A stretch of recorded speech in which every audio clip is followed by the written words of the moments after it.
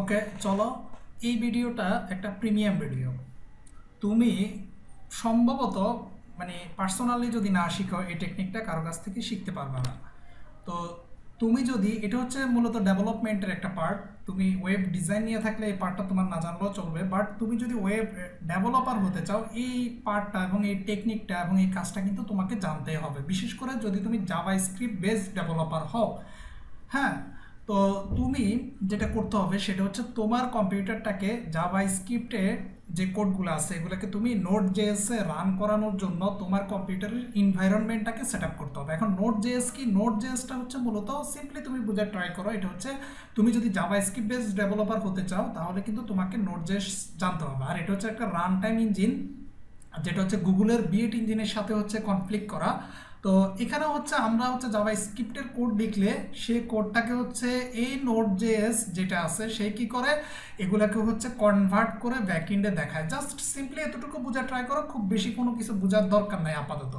ওকে এখন আমাদের প্রবলেম যেটা, সেটা হচ্ছে আমাদের মধ্যে অনেকেই আমরা আসলে জানি না যে আমাদের এই জাভা স্ক্রিপ্টের কোডগুলোকে আমরা নোট জেএস আসলে কীভাবে রান করব বা এই রান করানোর জন্য আমাদের কম্পিউটারের ইনভাইরনমেন্টটাকে আমরা কীভাবে সেট আপ করব, এই যে টোটাল জিনিসটা, এই বিষয়টা কিন্তু মানে অনেকেই জানে না, ঠিক আছে? এটা একটা প্রিমিয়াম বিষয়। তো চলো, আজকে হচ্ছে আমি এই জিনিসটা, এটা হচ্ছে, আমার হচ্ছে প্রি আমার মানে খুব মানে প্রিমিয়াম স্টুডেন্ট আমি দুই একজন স্টুডেন্ট যাদেরকে হয়তো কাজ শেখাই তাদের জন্য হচ্ছে এই জিনিসটা করা হয়েছে বাট আমি এটা হচ্ছে পাবলিকালি সবার জন্য হচ্ছে ফ্রি করে দিলাম এই জিনিসটা। তো তোমাকে যেটা করতে হবে, প্রথমত তোমাকে হচ্ছে তোমার কম্পিউটারে ভিজুয়াল স্টুডিও কোড যেটা আছে, এই সফটওয়্যারটা কিন্তু থাকতে হবে। বাস কোড যেটাকে আমরা বলি এটা হচ্ছে তোমার কম্পিউটারে থাকতে হবে, এটা না থাকলে হচ্ছে তুমি প্রবলেমে পড়ে যাবা। এই যে ভিজুয়াল স্টুডিও কোড যেটা সফটওয়্যারটা ওকে তো তারপরে আর কি থাকতে হবে তোমার কম্পিউটারে তোমার কম্পিউটারে আরও দুটো সফটওয়্যার থাকতে হবে। একটা সফটওয়্যার হচ্ছে, তুমি যদি গুগলে যাও, দেখবা এখানে হচ্ছে গিট এইট সিএম বলে একটা জিনিস আছে, যে জিনিসটা হচ্ছে তোমার কম্পিউটারে ইনস্টল করা থাকতে হবে এই সফটওয়্যারটা আরও একটা সফটওয়্যার থাকতে হবে। সো আমরা একটা একটা করে আলোচনা করি, এবং খুবই ইম্পর্টেন্ট একটা ভিডিও এটা হচ্ছে তুমি আসলে কোথাও পাবা না এরকম কোনো কিছু। সো তুমি যদি লেখো গিট এর সিএম গিট এর সিএম মানে হচ্ছে সোর্স কন্ট্রোল ম্যানেজমেন্ট ঠিক আছে? এটা যারা গিটহাব ইউজ করে, যাদের হচ্ছে তোমার যদি গিটহাবে প্রোফাইল থাকে, তাহলে তোমার জিনিসটা কিন্তু খুব কাজে লাগবে, ঠিক আছে? আর গিটহাব নিয়ে আমি এখানে কোনো আলোচনা করব না। তো এই সফটওয়্যারটা হচ্ছে তুমি তোমার কম্পিউটারে হচ্ছে ডাউনলোড করে ইনস্টল করে নিবা।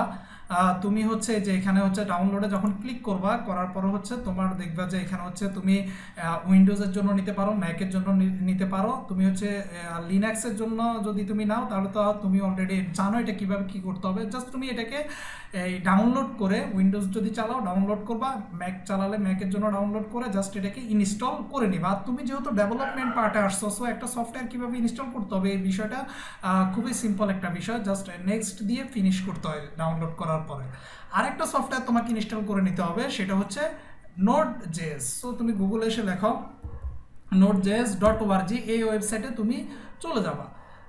এখানে হচ্ছে, এখানে একটু ইয়া করি আমরা ডিরেক্ট আসতেছে না। আচ্ছা আমরা হচ্ছে এখানে লিখি Google dot com Google dot com লিখে তুমি হচ্ছে জাস্ট এখানে লেখো নোট জেএস অনেক সিস্টেমে আছে, যাও, তুমি নোট জেএস ডাউনলোড করো, এখানে যাও। দেখো, এখান থেকে যখন তুমি ডাউনলোডে যাবা, দেখবা যে এখানে দেখো উইন্ডোজের জন্য আছে ম্যাকের জন্য আছে। তুমি হচ্ছে জাস্ট উইন্ডোজের জন্য যদি চালাও, তুমি হচ্ছে এই জিনিসটা তুমি নিয়ে আসবা নোট জেএসের এই জিনিসটাকে তুমি ইনস্টল করবা ওই সেম একই সিস্টেম ডাউনলোড করবা ডাউনলোড করে হচ্ছে তুমি ইনস্টল করে নিবা তোমার কম্পিউটারে। এখন এই যে গিট এর সিএম এবং নোট জেএস এই দুইটা আসলে তোমার কম্পিউটারে কি ইনস্টল হইল কি না ঠিকঠাক মতো, এই জিনিসটা কিন্তু তোমাকে হচ্ছে এনশিওর করতে হবে সবার আগে। না হলে কিন্তু তুমি কাজ করতে পারবা না ওকে সো এখন চলো গিটটা ইনস্টল কীভাবে হয়েছে তুমি আগে এটা হচ্ছে একটু চেক দিয়ে আসো। এটা করার জন্য তুমি যেটা করবা সেটা হচ্ছে তোমার কম্পিউটারে যদি রাইট বাটন ক্লিক করো, দেখবে এখানে গিট জিইউআই এবং হচ্ছে গিট ব্যাশ হেয়ার এই দুটো জিনিস লেখা থাকবে। তো এতটুকু হইলে মোটামুটি তুমি কনফার্ম হইতে পারো যে তোমার কম্পিউটারে গিটটা গিটের সিএমটা হচ্ছে ইনস্টল হয়ে গেছে। তারপরও তুমি আরেকটু এনশিওর হওয়ার জন্য তোমার কম্পিউটারের তুমি এখানে গিয়ে হচ্ছে লিখতে পারো, এই যে সার্চে গিয়ে লিখতে পারো হচ্ছে, এখানে গিয়ে লিখবে হচ্ছে সিএমডি ঠিক আছে? কমান্ড প্রমোট বলে এটাকে। সিএমডি লিখে জাস্ট এন্টার দাও। এন্টার দেওয়ার পরে এখন তুমি চেক করবা যে তোমার কম্পিউটারে কি গিটটা গিটের সিএমটা ইনস্টল আছে কিনা। সো তুমি এখানে যেটা লিখবে সেটা হচ্ছে সাপোজ তুমি লিখবে হচ্ছে গিট তারপর হচ্ছে স্পেস দিবা। আমি আবারও বলতেছি গিট লেখে স্পেস দিবা। এরপরও হচ্ছে ড্যাশ ড্যাশ দুইটা ড্যাশ দিবা। দিয়ে এরপরে লিখবা V E R S I O N version কি লিখলা? Git space dash dash version দিয়ে এন্টার দিবা। এন্টার দিলে দেখবা এখানে লেখা আছে git version two point two point six point two windows one এটা হচ্ছে তাহলে তোমার এখানে কিন্তু ইনস্টল হয়ে গেছে অলরেডি আর যদি ইনস্টল না হয়, কোনো প্রবলেম হয়, তাহলে কিন্তু এই জিনিসটা কিন্তু দেখাবে না। এবার আসো, তুমি চেক করবা তোমার কম্পিউটার নোট জেস ইনস্টল হইল কিনা। এই যে নোট জেস যে সফটওয়্যারটা আমাদের এখানে এটা যে নোট জেস এটা ইনস্টল হলো কি না এটা তোমাকে একটু চেক করতে হবে। সো তুমি এখানে লেখো নোট নোট লেখো N O D E node N O D node তারপর হচ্ছে dash dash P E R S I O N version লিখে এন্টার দাও। দেখো, এই যে ভার্সন চোদ্দ পয়েন্ট ফোর পয়েন্ট জিরো এটা হচ্ছে ইনস্টল করা আছে অলরেডি তার মানে কি, আমার কম্পিউটারে আমি হান্ড্রেড পার্সেন্ট শিওর আমার কম্পিউটার হচ্ছে গিটের এসসিএমটা আর হচ্ছে নোট যে যে নোট যেটা, এটা ইনস্টল করা আছে। ব্যাস, তোমার কাজ কিন্তু শেষ। এবার এটা কেটে দাও। তুমি হচ্ছে এখন তোমার এই যে ভিজুয়াল স্টুডিও কোডটাকে হচ্ছে তুমি ওপেন করো এবং ওপেন করে তুমি হচ্ছে তোমার যেটা করতে হবে তার আগে আমরা একটা কাজ করি, এখানে হচ্ছে আমরা একটা ফোল্ডার নিয়ে নিই জাস্ট আমরা হচ্ছে টেস্ট করব, ঠিক আছে? নোট মানে নোট জেস টেস্ট আমরা একটা নাম দিই, যে কোনো নাম দিতে পারো সাপোজ নোট জেস টেস্ট একটা ফোল্ডার নিলাম। এই ফোল্ডারটাকে আমরা কি করব? আমরা হচ্ছে আমাদের এখান থেকে ভিজুয়াল স্টুডিও কোডটাকে ওপেন করব, ঠিক আছে? এটা ভিজুয়াল স্টুডিও কোডটা কোথায়? এই যে ভিজুয়াল স্টুডিও কোড আমরা ওপেন করে নিব। আমরা একটু ওয়েট করি, এটা হওয়ার জন্য। এই জিনিসটা অনেকেই জানে না কনফিউজ পড়ে যায়। তো জাভা স্ক্রিপ্ট নিয়ে কাজ করতে হলে কিন্তু তোমাকে এই এনভায়রনমেন্টটা সেট আপ করতে হবে, যদি জাভা স্ক্রিপ্টে তুমি ডেভেলপমেন্ট করতে চাও। সো আমরা যেটা করব যে এখানে ওয়েলকামটা কেটে দিই। আমরা হচ্ছে ফাইল থেকে আমাদের ওই ফোল্ডারটাকে ওপেন করে ফেলি। তুমি যেহেতু ডেভেলপমেন্ট শিখতেছো সো তোমাকে এখন বেসিক কোনো কিছু এত হাতে ধরে বোঝানোর কোনো বিষয় না। তুমি ফোল্ডারটাকে জাস্ট এখানে ওপেন করে ফেলো। ওপেন করার পরে তোমাকে যেটা করতে হবে, দেখো এই ওয়েলকামটা কেটে দাও। এখানে হচ্ছে তুমি এই যে ওপেন করলা, করার পরে তুমি জাস্ট এখানে ক্লিক করে এই যে ফোল্ডারের মধ্যে কিন্তু কিছু নাই জাস্ট এখানে ক্লিক করো। ক্লিক করে তুমি এখানে জাস্ট লেখো যে টেস্ট ডট জেএস। যেহেতু তুমি একটা জাভা স্ক্রিপ্টের ফাইল নিচ্ছ, তুমি কিন্তু জানো যে এখন তুমি যেহেতু ডেভেলপার হচ্ছ বা শিখতেছ বা শেখার প্রস্তুতি নিচ্ছ, তার মানে তুমি জানো কিন্তু এইগুলো কি জিনিস। জাভা স্ক্রিপ্টের জন্য জেএস নিতে হয় যে কোনো ফাইলের শেষে। নিয়ে তুমি একটা এন্টার দাও তাহলে কিন্তু এই যে দেখো, এখানে এই পাশে কিন্তু জাভা স্ক্রিপ্টের টেস্ট ডট জেএস নামে কিন্তু একটা ফাইল তৈরি হয়ে গেল। তুমি যে কোনো নামে নিতে পারো। আমি টেস্ট ডট জেএস নামে নিলাম, কিন্তু লাস্টে যেটা ডট জেএস এই এক্সটেনশনটা কিন্তু তোমাকে রাখতে হবে। ওকে ফাইন চলো এবার আমরা কি করব? এবার আমরা যেটা করব সেটা হচ্ছে আমাদের এইটার সাথে নোট জেসকে হচ্ছে মানে সেট আপ দেবো। এটার জন্য তোমাকে যেটা করতে হবে টার্মিনালে চলে যাও। টার্মিনালে গিয়ে নিউ টার্মিনালে ক্লিক করো। ওকে নিউ টার্মিনালে যখন তুমি ক্লিক করবা, তখন দেখবা আমার এখানে দেখো কি লেখা আসছে, আমার এখানে একটু ওয়েট করো, দেখো এইরকম আসছে। তোমার কিন্তু ধরেই কিন্তু এরকম আসবে না। তোমার যেটা আসবে সেটা হচ্ছে এখানে লেখা আসবে, তোমার হচ্ছে, আমি দেখাই তোমার কেমন আসবে, তোমার হচ্ছে এই যে এই যে এইরকম। সো তুমি দেখো একটু, আবার আমি কেটে দিই। দেখো, এবার তোমার কেমন আসবে সেটা দেখায় নিউ টার্মিনাল এই যে দেখো, তোমার কিন্তু আসবে এরকম, এখানে একটা পাওয়ার শেল লেখা আর এখানে কিছু আসবে না, এরকম এ ঠিক এ সেম হয়তো টু থাকবে বা ওয়ান থাকবে, কিন্তু পাওয়ার শেল লেখা থাকবে। আর অথবা এই পাশে এরকম থাকবে, কিন্তু এখানে এটা থাকবে। কিন্তু তোমার কিন্তু এইসব পাওয়ার টাওয়ারের দরকার নাই। তোমার দরকার হচ্ছে নোট জেএস এর সাথে এটাকে হচ্ছে অ্যাক্টিভ করানো। তাহলে এই পাওয়ারটাকে তুমি হচ্ছে কিল করে দাও। কিল মানে কি? এখান থেকে ডিলেট করে দাও। এই যে কিল টার্মিনাল সো এখান থেকে ডিলেট করে দিলা, তুমি এটা করে দেওয়ার পরে এটা তো চলে গেল। তো চলে গেলেও তোমার এরকম আসবে না, তুমি জাস্ট এটা কেটে দিবা। কেটে দিয়ে আবার যাবা টার্মিনালে নিউ টার্মিনালে ক্লিক করো। করার পরে এই যে পাওয়ার শেলটা আবার আসছে, তুমি জাস্ট এখানে ক্লিক করে যে সিলেক্ট ডিফল্ট শেল এখানে ক্লিক করো। করার পরে যে গিট ব্যাচ দেখবে নিচে লেখা আছে, এখানে ক্লিক করে দাও, তোমার কাজ শেষ। এবার তুমি আবার কাটো টার্মিনালে যাও নিউ টার্মিনালে যাও। দেখো এখন কিন্তু ঠিক হয়ে গেছে। এখন দেখবা এটা এখানে লেখা থাকবে ব্যাস বাঁশ বাম্বু এটাকে বাঁশের বাংলা কি বলে? বাম্বু বলে। আচ্ছা যাও এই মনে করো তোমাকে একটা বাঁশ দিল। এই বাঁশটা তুমি আবার দেখবে পাশে এখানে এরকম জিনিসপত্র লেখা আছে। সো এখানেও কিন্তু তুমি হচ্ছে তোমার হচ্ছে যে জেএস এর কোডগুলোকে তুমি রান করাইতে পারবা। সো জেএস এর কোডকে রান করানোর জন্য কি করতে পারি আমরা? যেটা করব, সেটা হচ্ছে আরেকটা এনভায়রনমেন্ট আমাদের সিম্পল সেট করে নিতে হবে। সেটা হচ্ছে আমরা একটু পরে করে নিচ্ছি। সেটা হচ্ছে আমরা আগে কিছু একটা লিখি। সাপোজ আমরা একটা ভেরিয়েবল লিখি, var ইকুয়াল টু সাপোজ আমরা একটা ভেরিয়েবল লিখি আমাদের হচ্ছে var ভেরিয়েবলের একটা নাম দিই। সাপোজ আমাদের ভেরিয়েবলের নাম হচ্ছে test okay test equal to এই ভেরিয়েবলের আমরা হচ্ছে একটা মান দিই, যেটা স্ট্রিং আকারে থাকবে। তো আমরা হচ্ছে একটা মান দিলাম suppose this is our note just test okay আমরা এটা লিখে ফেলি। ঠিক আছে this is our sorry note note D note just test okay তুমি এটা দিয়ে দিলাম সেভ করো ওকে নিচে আসো, এসে তোমাকে যেটা করতে হবে, তুমি যদি জাভা স্ক্রিপ্ট নিয়ে কাজ করতে চাও, ভাই, তোমাকে কিন্তু কনসোল ডট লগ কিন্তু ইউজ করা শিখতে হবে। তুমি ওই জাভা স্ক্রিপ্টকে তুমি চাইলে হচ্ছে ইয়ে করতে পারো, এটাকে কিংবা ডকুমেন্ট ডট রাইট দিয়ে হচ্ছে তুমি ইউজ করতে পারো, কোনো সমস্যা নাই। উইন্ডোজ ডট রাইট দিয়েও ইউজ করে অনেকেই, অনেকভাবে করতে পারো। কিন্তু তুমি যদি ডেভেলপার হইতে চাও, তোমাকে কিন্তু লিখতে হবে কনসোল ডট লগ কনসোল এসও এলি কনসোলে দেখো চলে আসছে কনসোল ডট লগ এই কথাটা তোমাকে লিখতে হবে। কারণ তুমি এই লেখাটাকে, এই ভেরিয়েবলের মধ্যে যে মানটা আছে, এটাকে তুমি প্রিন্ট করাইতে চাচ্ছ। সো তোমাকে লিখতে হবে কনসোল ডট লগ এর ভিতরে হচ্ছে তোমাকে হচ্ছে প্যারেন্থিসিস ব্র্যাকেট দিতে হবে মানে ফার্স্ট ব্র্যাকেট ওপেন ক্লোজ এখানে হচ্ছে তুমি কি করো যে ভেরিয়েবলটার নাম দিয়ে দাও। সো টেস্ট আচ্ছা তো দিলে ভালো কথা টেস্ট দিয়ে একটা সেভ দাও। এবার তুমি এটা রেজাল্টটা আসলে দেখবা কোথাও ব্রাউজারে গিয়ে দেখবা না? তোমাকে রেজাল্টটা এখানে দেখতে হবে। এইখানে রেজাল্টটা দেখার জন্য তোমাকে যেটা করতে হবে, তুমি দেখো এই পাশে একটা এই যে রান পোকার মতো একটা জিনিস আছে, যেটা হচ্ছে আমরা ডিবাগিংয়ের কাজে হচ্ছে ইউজ করে থাকি।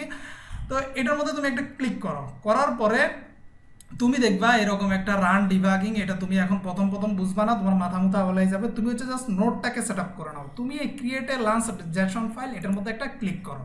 করার পরে দেখবা তোমার এই পাশে দেখো, আমি আপাতত হচ্ছে এই টার্মিনালটা হচ্ছে একটু কেটে দিই। এই দেখো, এই পাশে কিন্তু অনেক কিছু লেখা চলে আসছে যে টেস্ট ডট জেস তারপরে এই যে হাবি জাবি অনেক কিছু চলে আসছে।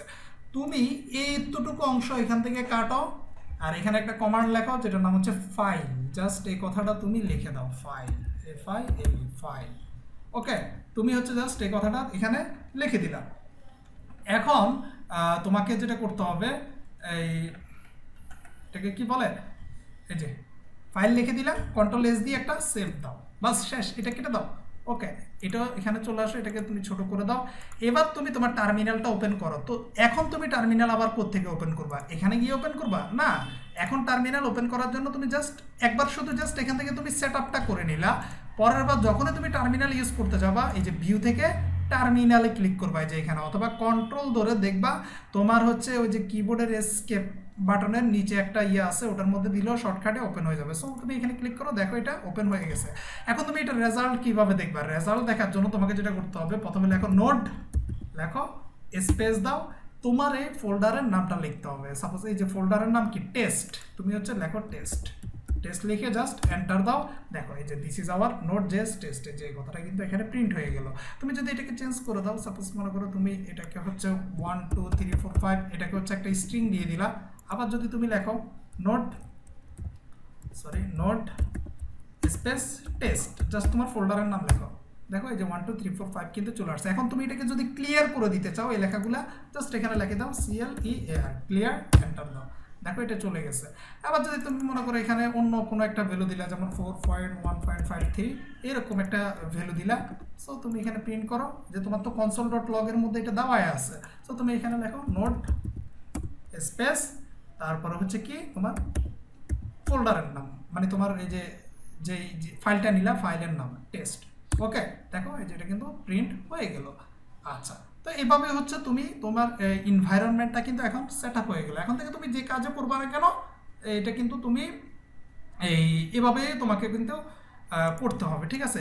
তুমি যে এখন তোমার হয়তো তুমি বুঝতেছো না ভেরিয়েবল কী জিনিস, এগুলো কী জিনিস, এই জিনিসপত্র নিয়ে মাথা গরম করার কোনো দরকার নাই জাস্ট তুমি ইনভাইরনমেন্ট সেট আপটা হচ্ছে তোমাকে দেখানো হইল, ঠিক আছে? সাপোজ তুমি মনে করো আরেকটা ভেরিয়েবল নিলাম ভার এন ইকুয়াল টু সাপোজ মনে করো টেন আমরা হচ্ছে কি দিলাম এন এর মান হচ্ছে টেন মানে এই যে এন এই এনটা মান হচ্ছে টেন ওকে এখন আমরা ধরো এখানে যদি লিখি ইফ আমরা একটা কন্ডিশন দিচ্ছি ফার্স্ট ব্যাকেট এবং সেকেন্ড ব্যাকেট ফার্স্ট ব্যাকেটের মধ্যে কিন্তু একটা কন্ডিশন দিতে হয়। তুমি যদি জাভা স্ক্রিপ্ট শিখে থাকো, তাহলে হয়তো এটুকু বুঝবা।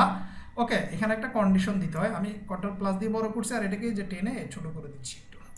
ওকে দেখো তুমি বলতেছো যে ইফ মানে যদি এন এর মান টেন হয় মানে এন এন এর মান যদি কি হয় টেন হয়, তাহলে তুমি এভাবে লিখতে পারো এখানে যে ইফ এন এর মান যদি টেন হয়, অথবা তুমি এভাবে লিখো একটু সুন্দর করে লিখি। সাপোজ এন হচ্ছে লেস দেন টেন মানে এনটা যদি টেনের থেকে ছোট হয়, তাহলে তোমার হচ্ছে কি করবা? যে এখানে কনসোল ডট লক করো। কনসোল ডট লগ একটা রেজাল্ট দিবে তোমাকে। কি রেজাল্ট দিবে? তুমি লিখতে পারো, যদি এন যদি টেনের চেয়ে ছোট হয়, তুমি এখানে হচ্ছে স্ট্রিং আকারে ভ্যালু পাঠাতে পারো, লিখতে পারো সাপোজ আমি লিখে দিই। হয়তো তুমি বুঝবা না দিস নাম্বার হ্যাঁ তারপরে হচ্ছে তুমি এখান থেকে বের হয়ে আসো, তারপর তোমার ভেরিয়েবলটাকে কল করো, তারপরে হচ্ছে তোমার ভেরিয়েবলের মানটাকে, তারপর আর একটা কমা দিয়ে তুমি আবার স্ট্রিং আকারে যেটা লিখতে চাও দিয়ে দাও smaller than ten smaller than ten okay যদি এন এর মান, এই এনটা যদি দশের চেয়ে কি হয়, ছোট হয় তাহলে সে প্রিন্ট করবে এটা। আর যদি না হয় তাহলে কি করবে? আমরা এখানে লিখে দিই এলস যদি না হয় তাহলে কি করবে সে?